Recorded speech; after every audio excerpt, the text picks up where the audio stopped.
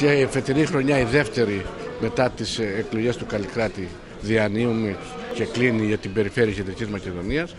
Ε, πιστεύω ότι τα δύο χρόνια που πέρασαν δεν ήταν αυτά τα οποία περιμέναμε και ιδιαίτερα η τελευταία χρονιά.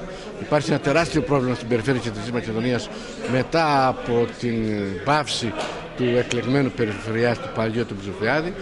Είναι και αυτό το πρόβλημα το οποίο δεν λειτουργήσαν οι, οι αρμόδιες υπηρεσίες αλλά και ο προγραμματισμός ο οποίος είχε γίνει στις προηγούμενες χρόνια δεν υλοποιήθηκε και πιστεύουμε ότι σε αυτό ευθύνεται σοβαρά η σημερινή διοίκηση της περιφέρειας αισιοδοξούμε για το 2013 ότι οι χρονιές θα είναι πάρα πολύ καλύτερες.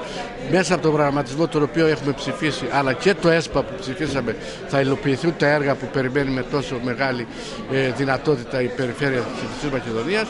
Και αισιοδοξούμε ότι για ακόμα μια φορά θα μπορέσουμε έτσι να δούμε καλύτερες μέρες και για τη Θεσσαλονίκη αλλά και την ευρύτερη περιοχή της, ε, του πολυδομικού συγκροτήματος. Η χρονιά ε, είναι οικονομικά δύσκολη ε, λόγω της αρνητικής οικονομικής συγκυρίας.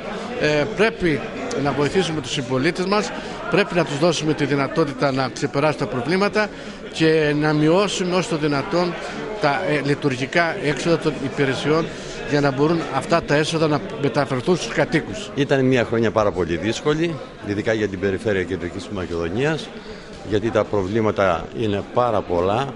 Η Κεντρική Μακεδονία είναι πολύ μεγάλη με 7 ενότητες και βέβαια εδώ τα αντιμετωπίσαμε με τον τρόπο που εμείς ε, έχουμε μάθει ως νομαρχία Θεσσαλονίκης και βέβαια με τις ενότητες που έχει η Κεντρική Μακεδονία.